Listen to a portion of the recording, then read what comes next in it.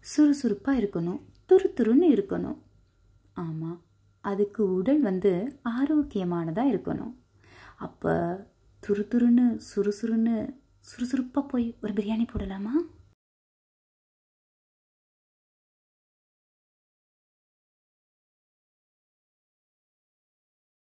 அனைவருக்கும் வணக்கம். எல்லாரும் எப்படி இருக்கிறீங்க? இன்னைக்கு ஐடி கிச்சனில் சூப்பரான செம்மையான ஒரு பிரியாணி போட போகிறோம் எல்லாரும் வஞ்சிர மீன்லாம் பிரியாணி போட்டிருப்பீங்க. இன்றைக்கி நம்ம என்ன மீனில் பிரியாணி போட போகிறோம் தெரியுமா? சூர மீன்.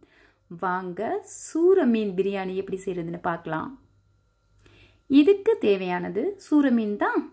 அது ஒரு கிலோ வாங்கியிருக்கேன். நல்லா கழுவி க்ளீன் பண்ணிவிட்டு ஒரு டீஸ்பூன் மிளகாய்த்தூள் கால் டீஸ்பூன் மஞ்சத்தூள் அரை டீஸ்பூன் உப்பு பாதி லெமன் ஜூஸ் இதை போட்டு நல்லா மிக்ஸ் பண்ணி வச்சுருங்க. ஸோ இதை நாளைக்கு தான் செய்ய போகிறேன் அப்படின்னா பிஃபோர் நைட்டே வந்து இதெல்லாமே கலந்து இது கூட இஞ்சி பூண்டு விழுது கொஞ்சம் தயிர் சேர்த்து மிக்ஸ் பண்ணி ஓவர் நைட் ஊற வச்சா அடி தூள் சொல்லவே தேவையில்ல அவ்வளோ டேஸ்ட்டாக இருக்கும். இப்போ நான் இதை இமீடியட்டாக செய்கிறதுனால இதெல்லாம் போட்டு மிக்ஸ் பண்ணிக்கிறேன். இதை மிக்ஸ் பண்ணி இந்த மாதிரி சைஸில் மீன் துண்டுகள் இருக்கணும். ஓகேவா? இதில் வந்து ஒரு மிக்சி ஜார் வச்சுக்கலாம். ஒரு கைப்பிடி அளவுக்கு புதினா சுத்தம் செஞ்சது. ஒரு கைப்பிடி அளவுக்கு கொத்தமல்லி சுத்தம் செஞ்சது. மூணு பச்சை மிளகாய் காரத்துக்கு ஏற்ற மாதிரி போட்டு நல்லா லெமன் ஜூஸும் தண்ணியும் கொஞ்சம் விட்டு அரைச்சி எடுத்து வச்சுக்கலாம். இல்லைன்னா கருப்பாகிடும் அதனால தான் லெமன் ஜூஸ் இப்போ பார்த்திங்கன்னா இதை அரைச்சாச்சு ஓரமாக வச்சுட்டு பாத்திரத்தை வச்சுட்டு தேங்காய் எண்ணெயிலையும் இந்த பிரியாணி செய்யலாம் இல்லை கடலை எண்ணெயிலையும் செய்யலாம். நான் வந்து ஒரு குளிக்கரண்டி கடலை எண்ணெய் சேர்த்துருக்கேன். இதில் ஒரு டீஸ்பூன் சோம்பு ஒரு பட்டை ஒரு டீஸ்பூன் மிளகு ரெண்டு அன்னாசி பூ இது கூடவே ஒரு நாலு லவங்கம் ஒரு நாலு ஏலக்காய். இதில் நம்ம வந்து ஒரு ரெண்டு பிரிஞ்சி இலையை சின்னதாக பிச்சு சேர்க்குறோம். எப்போவுமே அதிகமான மசாலா இருக்கக்கூடாது. எல்லாமே அழகாக இருந்தால் தான் நாக்குக்கு ருசியாக சாப்பிட முடியும். ஸோ இந்த மசாலா எல்லாம் நல்லா ஃப்ரை ஆகணும் இந்த ஆயிலில் ஸோ இதை ஃப்ரை ஃப்ரை பண்ணிக்கலாம் நல்லா. இப்போ பார்த்தீங்கன்னா ஒரு மூணு வெங்காயம் எடுத்து நான் கட் பண்ணி சேர்க்குறேன். சிவப்பு வெங்காயம் இருந்தால் நீங்கள் அது கூட சேர்த்துக்கலாம்.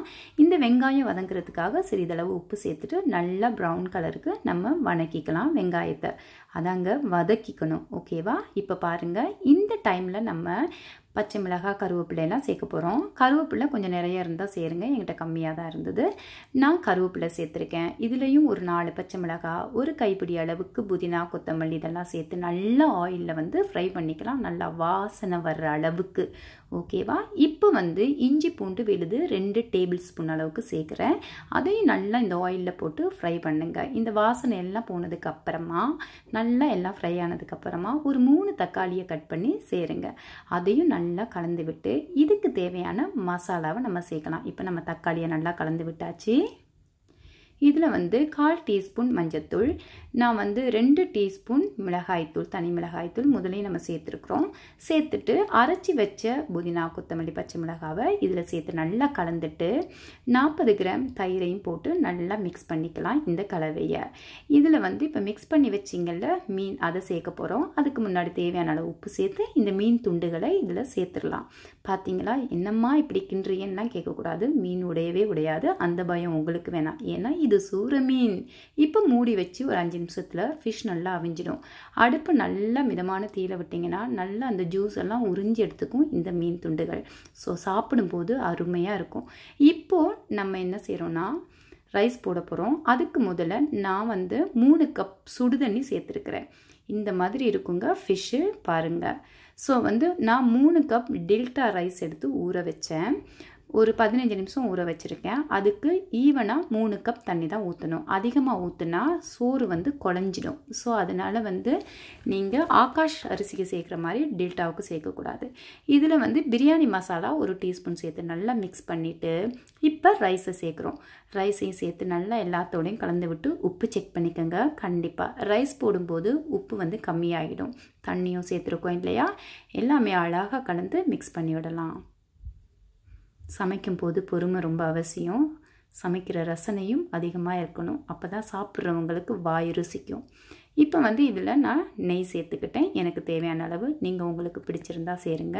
நெய் நல்லெண்ணெய் கடலெண்ணெய்லாம் உடம்புக்கு மிகவும் ஆரோக்கியமானது.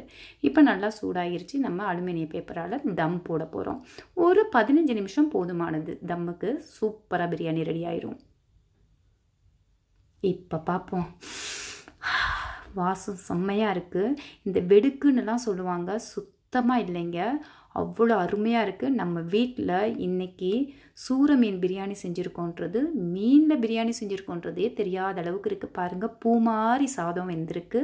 செம்மையாக ஃபிஷ்ஷும் ரெடியாகிருக்கு அடடடடா நான் கூறுது சூப்பராக இருக்குது ஸோ இந்த மாதிரி நல்லா கிளறிக்கலாம். பாருங்கள் ஃபிஷ் அப்படி முழுமையாக இருக்குது நான் போட்டது எல்லாமே. இதுக்கு மேலே ஒரு குழிக்கரண்டி அளவுக்கு தேங்காய் பால் சேர்த்துட்டு ஒரு பாதி லெமன் நல்லா புழிஞ்சி அதையும் மேலே சேர்த்துட்டு அடுப்பை அணைச்சிட்டு இந்த சூட்டிலேயே நம்ம கொஞ்ச நேரம் பரிமாறும் வரைக்கும் மூடி வச்சிடலாம் சரியா? இப்போ நான் மூடி வச்சிடுறேன் குழந்தைங்களுக்கெல்லாம் மீன் பிரியாணி இந்த மாதிரி நிறைய நல்ல ஆரோக்கியமாக செய்து கொடுங்க. இப்போ பாருங்கள் நம்ம பிரியாணி அட்டகாசமாக ரெடி ஆகியாச்சு. இப்போ நாங்கள் சாப்பிட போகிறோம் ஸோ மேதை வந்து கொத்தமல்லி இலைகளை தூவியாச்சு. பார்க்கவே ரொம்ப அழகாக இருக்குது ரொம்ப ப்ரெசண்ட்டாக இருக்குது எனக்கு பார்க்கும்போது. இதே மாதிரி பிரியாணி இதே மாதிரி ஆரோக்கியமான உணவுகளை உங்கள் குழந்தைகளுக்கும் குடும்பத்துக்கும் செய்து கொடுங்க. இது மீன் பிரியாணின்னா வீட்டில் இருக்க எந்த மீனுமே நம்பாது. ஆமாம் இது கூட நான் வந்து பச்சடி செய்திருக்கேன். நம்ம ஐத்தி கிச்சனில் நிறைய ரெசிபி இருக்குது பிரியாணி கூட என்னெல்லாம் சாப்பிட்றதுன்னு அதையும் பாருங்கள் ஆரோக்கியமான உணவு ஆரோக்கியமான வாழ்க்கை. பாய் பாய்